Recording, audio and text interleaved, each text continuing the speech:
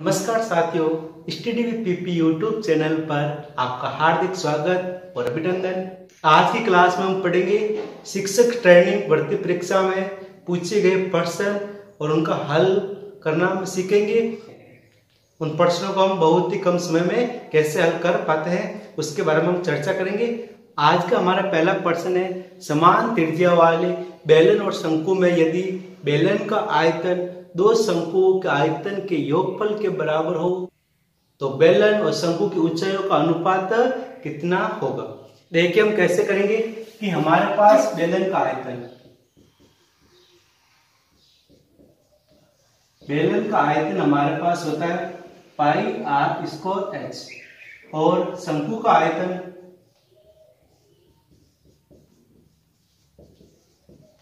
शंकु का आयतन हमारे पास होता है एक बट्टा तीन पाई आर एच। अब इस प्रश्न में दे रखा है शंकु और बेलन की त्रिज्या क्या है? समान है। तो R one equal to R two हम मान लेंगे। और ऊंचाई का हमें रेशियो याद करना है। इसकी ऊंचाई हम एच वन मान लें, इसकी ऊंचाई हम एच टू मान यह हुआ क्या है? बेलन का आयतन दो शंकुओं के आयतन के योगफल के बराबर होता है। यानी कि हम शंकु का आयतन को डबल कर ले तो हमारा पास किसका आ जाएगा? ऊपर वाले बेलन का आयतन आ जाएगा? तो देखिए हम करेंगे। बेलन का आयतन इक्वल टू क्या हो जाएगा? दो शंकु का आयतन। तो लगा दीजिए बेलन का आयतन का सूत्र क्या हो गया? Pi R square H one और शंकु का दो इंटू एक बट्टा तीन pi R square H two गया अब देखिए इसमें पाई से पाई हमारा क्या हो गया? कैंसिल हो गया। आर स्कोर इधर भी है आर स्कोर इधर भी आर स्कोर से आर स्कोर भी चला गया। अब देखिए एच वन और एच टू एच टू हमारे पास इधर आ गया। पीछे क्या बचा? दो बट्टा तीन। यहाँ पास बेलन और शंकु की ऊंचाई का अनुपात कितना आ गया? दो अनुपात तीन। यदि मैं पूछ ले कि शंकु और बेलन की ऊंचाइयों का अनुपात कितना होगा? तब तीन अनुपात दो। मतलब जो नाम पहले रखे उसका अनुपात में पहले रखना है, और जो नाम बाद में उसका अनुपात में, बाद में रखना है। इस प्रश्न में शंकु अनुपात, बेलन पूछा तो इसका आंसर हो जाएगा तीन अनुपात दो। चलिए, एक और प्रश्न करते हैं। दो समबहुभुजों के। चलिए, एक और प्रश्न करते हैं। दो समबहुभुजों के। बहिष्कोण क्रमशः 45 डिग्री और 60 डिग्री हैं। यदि प्रत्येक बहुभुज के शीर्षों को उसके केंद्र से मिलाया जाता है तो क्रमशः n1 और n2 त्रिभुज बनते हैं। तो n1 अनुपात n2 ज्ञात कीजिए। देखिए प्रश्न बहुत आसान है। क्या दे रखा है? प्रत्येक बहिष्कोण बहिष्कोण दे रखा पहले शंकु का पैंतालीस डिग्री। और दूसरे में दे रखा हमारे पास है साठ डिग्री। और हम जानते हैं कि इस समबहुभुज का प्रत्येक बहिष्कोण सूत्र निकल। हम जानते हैं कि समबहुभुज का प्रत्येक बहिष्कोण ज्ञात करने का सूत्र होता है तीन सौ साठ बट्टा एन और एन इसमें क्या होती है? भुजाओं की संख्या। तो हम देखिए, यहाँ पे इसका 45 डिग्री है तो इसमें हम पहले ज्ञात कर ले इसमें भुजाएँ कितनी होगी। तो देखिए, ऐसा आता है। कि 45 डिग्री बराबर 360 बट्टा एन एन इधर भाग में इसको ऐसे ले जाए 360 बट्टा 45 तो इसमें हम भाग देंगे तो भाग जाएगा हमारा कितनी बार? आठ बार। मतलब इस समबहुभुज में भुजाओं की संख्या कितनी है? आठ है और इसका प्रत्येक बहिष्कोण कितना है? 45 डिग्री। इसी प्रकार हम 60 वाले के लिए याद करें, भुजाओं की संख्या तो हमारे पास हो जाएगी 360 बट्टा साठ एन बराबर इसमें भुजाओं की संख्या कितनी होगी? आठ।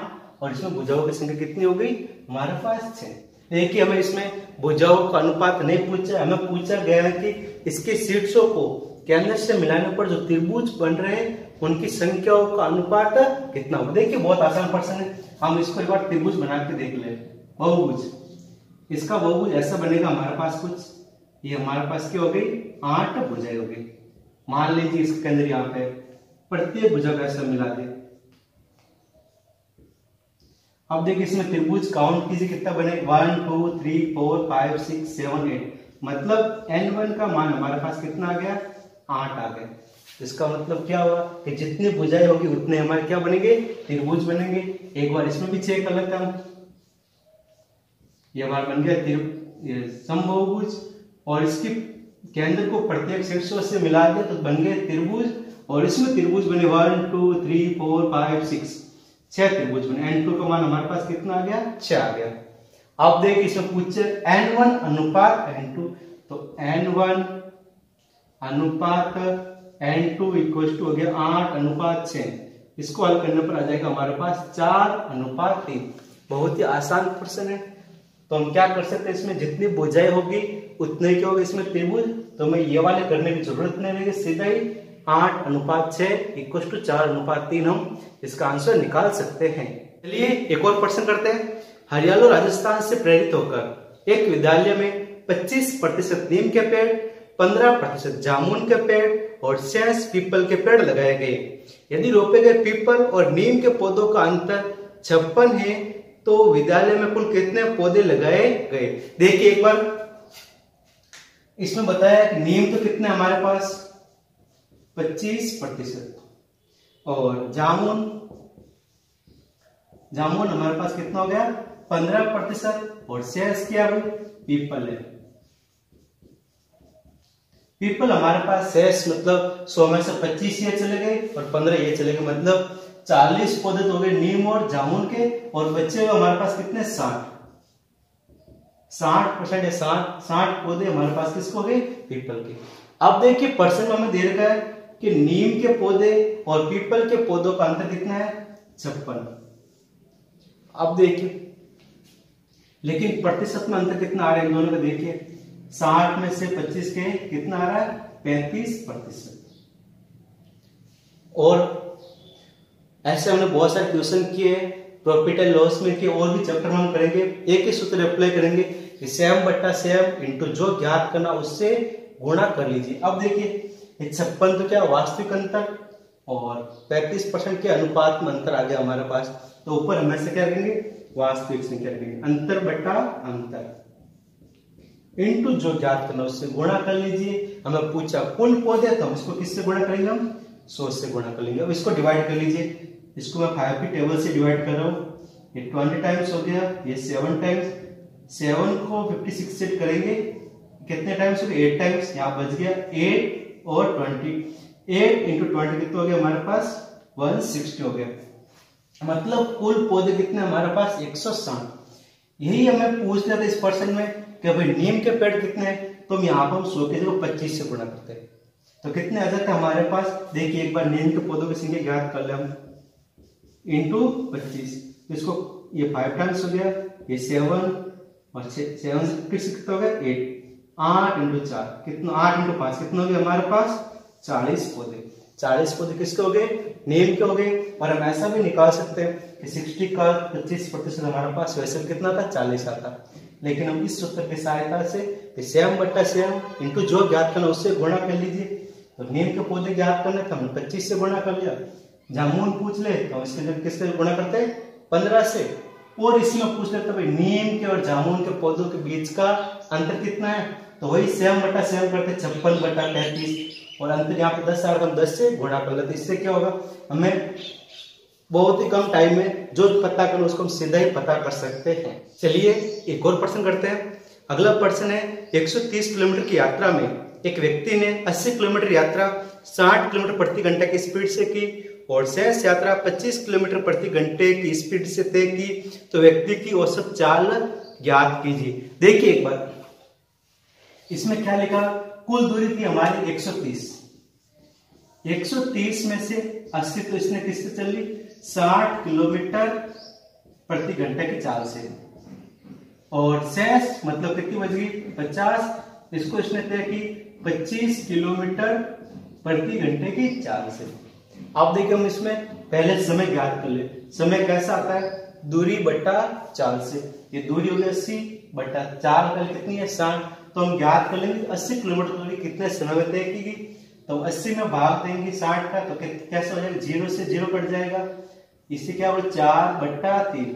तो क्या होगा चार बट्टे तीन घंटे में इसने अस्सी किलोमीटर की यात्रा की। अब देखिए पचास किलोमीटर की यात्रा 25 किलोमीटर प्रति घंटे की स्पीड से की। समय कितना लगा? 50 बट्टा पच्चीस। तो कितना हो गया? दो। दो घंटे में। अब देखिए पूरी यात्रा करने में इसको समय कितना लगा? हम दोनों को जोड़ लेंगे तो हमारे पास क्या आ जाएगा? चार प्लस तीन दिन कितना हो छह बट्टा तीन। मतलब दस बट्टा तीन घंटे में इसने पूरी यात्रा की। अब देखिए हम पूछा है औसत चाल कितनी होगी? तो देखिए, हमारे पास टोटल दूरी आ गई और टोटल समय आ गया। तो हम कर देंगे चाल के लिए स्पीड के लिए क्या हो जाएगा?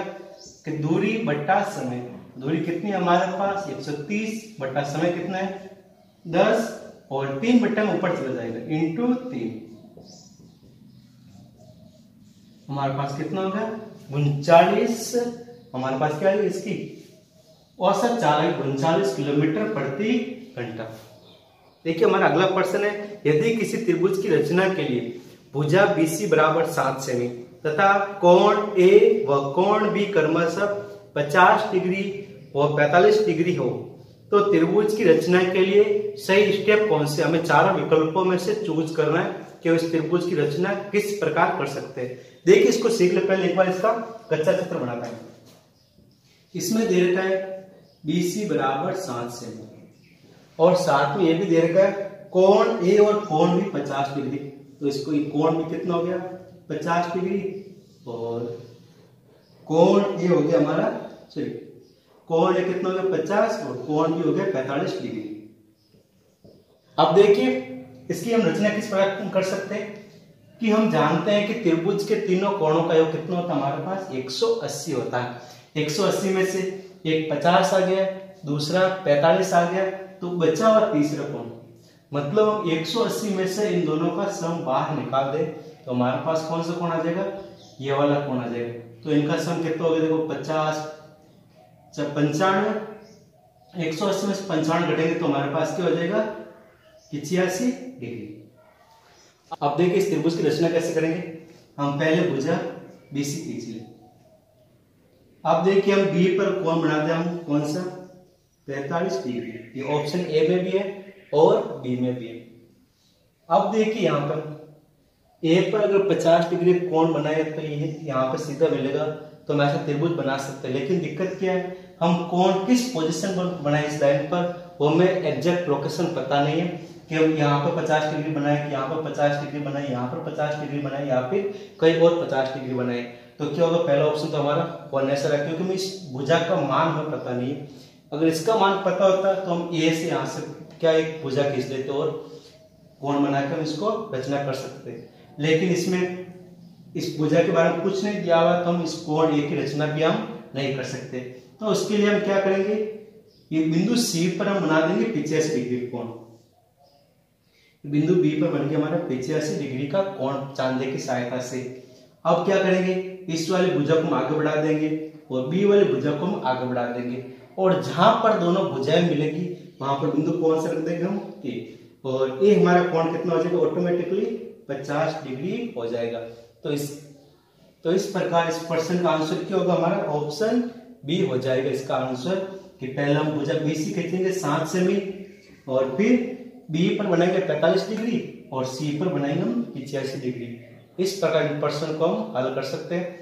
और पहला ऑप्शन गलत इसलिए हो गया हमारा, क्योंकि हमें इस ए बी का मान हमारे पास है नहीं। अगर ए बी का मान हमारे पास नहीं है तो हम यहाँ पर 50 डिग्री कोण किस लोकेशन पर बनाएँगे, हम इसको तय नहीं कर सकते। और ऑप्शन सी और डी इसलिए कैंसिल हो गया तो इसमें, ए सी का मान दे रखा है। और हमारे पास एसी का मान प्रश्न में कहीं नहीं दिया हुआ है तो हम उसको अपने मन से कोई भी मान नहीं मान सकते हैं। चलिए एक और प्रश्न करते हैं। इसमें चार विकल्प दिए हुए चारों विकल्प में से कौन सा विकल्प सही है, वो हमें बताना है। देखिए, पहला विकल्प है, देखिए इसके विकल्प क्या है। पहला विकल्प है, कोई भी पूर्ण घन संख्या दो ज़ीरो पर समाप्त नहीं होती है। नहीं होती है? देखिए, सत्य है या असत्य है? एक बार चर्चा करते हैं कि मान लो, हमारे पास दस है। दस का वर्ग करेंगे तो हज़ार। ये हज़ार है? पूर्ण घन संख्या जो क्या हो रही है, दो ज़ीरो पर समाप्त नहीं हो रही किस पे हो रही है। तीन ज़ीरो पर समाप्त हो रही है और यही प्रश्न मिलेगा कि दो ज़ीरो पर समाप्त नहीं होती है। कभी समाप्त नहीं होती मतलब ऑप्शन ए हमारा क्या है? सत्य है। अगला विकल्प है हमारे पास, यदि किसी संख्या का वर्ग पाँच पर समाप्त होता है तो उसका घन पच्चीस पर समाप्त होता है। देखिए, हम पाँच का वर्ग करते हैं। पाँच का वर्ग किस पर आ रहा है? पच्चीस। तो पच्चीस क्या हो रही है? हमारी पाँच पर समाप्त हो रही है। और इसका घन 625 नहीं सॉरी इसका घन क्या हो गया? 125 जो हमारा किस पर समाप्त हो रहा है? 25 पर समाप्त हो रहा है। मतलब ये विकल्प हमारा क्या है? सत्य है। तीसरा विकल्प हमारे पास है, ऐसा कोई पूर्ण गण नहीं है जो आठ पर समाप्त होता देखिए, ऐसा कोई है क्या? हमारे पास मान लो दो का गण ये खुद ही किस पे हो रहा है? आठ पे। तो बारह का भी, सत्रह अट्ठाईस समथिंग होता है। ये भी किस पे हो रहा है? आठ पे समाप्त हो रहा है। जबकि विकल्प हो रहा है, ऐसा कोई पूर्ण गणीय जो आठ पर समाप्त हो रहा है। अतः क्या कथन सी हमारा क्या हो गया? असत्य हो गया। और चौथा विकल्प है हमारा, दो अंकों वाली संख्या का गण चार से छह अंकों का होता है। दो अंकों की संख्या मतलब दस। अब देखिए, दस का गण चार अंकों पर समाप्त हो रहा है, एक हज़ार होता है। और अधिकतम निन्यानवे होते हैं उसका गण हमारा छह अंकों पर समाप्त होगा। मतलब चौथा विकल्प भी सही है कि दो अंकों वाली संख्या का गण चार से छह अंकों का होता है। तो इसका मतलब क्या हुआ? हमारा विकल्प ए राइट है, विकल्प बी भी राइट है विकल्प डी भी राइट इसका आंसर क्या हो गया? ए बी और बी तीनों। ये इसमें विकल्प हो गया हमारा सेकेंड अगला प्रश्न है हमारा, सात सेमी लंबाई व एक सेमी ऊंचाई के घनाभाकार बॉक्स में एक घन सेमी के 21 घनाकार बॉक्स रखे जाते हैं तो घनाभ की चौड़ाई ज्ञात कीजिए। देखिए, इसमें क्या होगा? आयतन हमेशा समान रहेगा।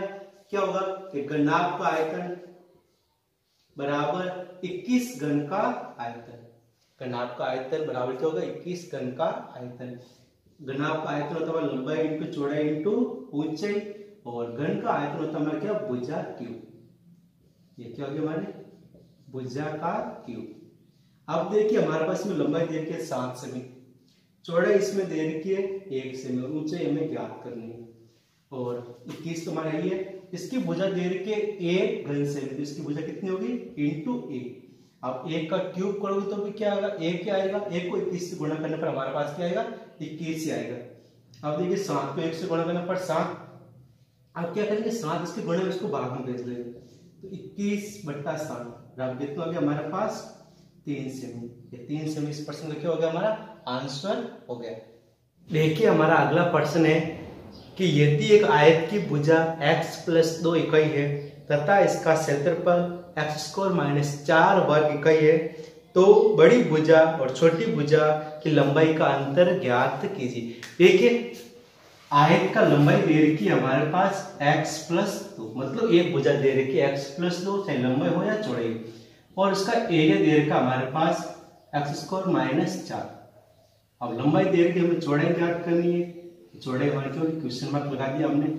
और हम जानते हैं कि लंबाई इंटू चौड़ाई बराबर हमारा क्या होता है? एरिया होता है। तो हम यहाँ पे एक बजा रख दे एक्स प्लस दो इंटू बी बराबर हो गया एक्स स्क्वायर माइनस चार। अब देखिए हम चार को ऐसा लिख सकते हैं। एक्स स्क्वायर माइनस दो का स्क्वायर और हमारे पास एक सरल समीकरण A square minus B square बराबर ए प्लस बी और ए माइनस बी इसके गुण A plus B into A minus B A plus B into A minus B तुम यहाँ पे लगा दे तो क्या हो जाएगा? x प्लस दो ए हो गया x और b हो गया दो और x माइनस दो। बराबर हो गया x प्लस दो बी x प्लस दो से x प्लस दो कट गया तो b का मान हमारे पास आ गया x माइनस दो।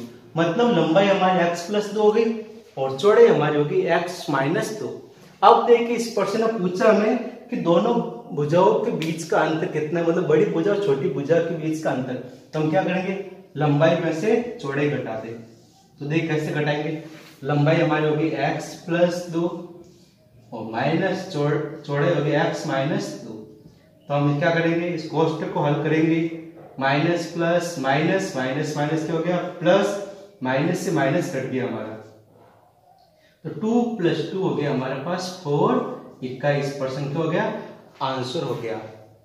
अगला प्रश्न है हमारा यदि 48 ए क्यूब बी प्लस एक सौ बीस A square B square plus पिछहत्तर ए बी क्यूब बटे चार ए प्लस पाँच बी का होल स्क्वायर बराबर तीन हो तो हमें ज्ञात करना A into B A dot B मतलब ए इंटू बी हमें ज्ञात करना, इसका गुणनफल ज्ञात करना। तो देखिए, इसको हम कैसे लिखेंगे इस प्रश्न को लिख रहा हूँ। आप देखिए, इस प्रश्न क्या कॉमन आ रहा है? ए सब में आ रहा है सिंगल ए तो आ रहा है, और साथ में बी भी आ रहा है। तो हमें इसमें से कॉमन ले लिया ए और बी और हमें, देखिए, ऐसा मान के चलना कि नीचे वाले हमें संख्या कटेगी। देखिए, यहाँ पे लिखा है चार। तो मैं चार का स्कोर सोलह होता है, और सोलह का यहाँ पे तीन गुणा दे रखा है। आई बात समझे? उसी प्रकार पाँच का स्कोर था पच्चीस और पच्चीस का तीन गुना यहाँ पे दे रखा इसका मतलब इसमें तीन क्या आ रहा है? कॉमन आ रहा है। तो इसमें से तीन भी बाहर ले लो। तीन बाहर ले लिया। देखो यहाँ पे लिखा सोलह इंटू तीन। इसमें से तीन बार आ गया, पीछे बच गया सोलह। और एक क्यूब बी में से एक। ए बार आ गया बी पूरे बार आ गया तो पीछे क्या बच गया? ए स्कोर प्लस का प्लस अब देखिए, इसमें से क्या कॉमन आया? 120 को हम लिख सकते हैं। इसको हम तीन का भाग देंगे कितनी बार जाएगा? चालीस बार। तो तीन तो बार ले पीछे बच गया चालीस। अब देखिए, ए भी बार आ गया। पीछे क्या बचा? सिंगल ए भी बच गया। प्लस पिछहत्तर में से तीन बार आ गया। पीछे बच गया हमारा क्या? पच्चीस।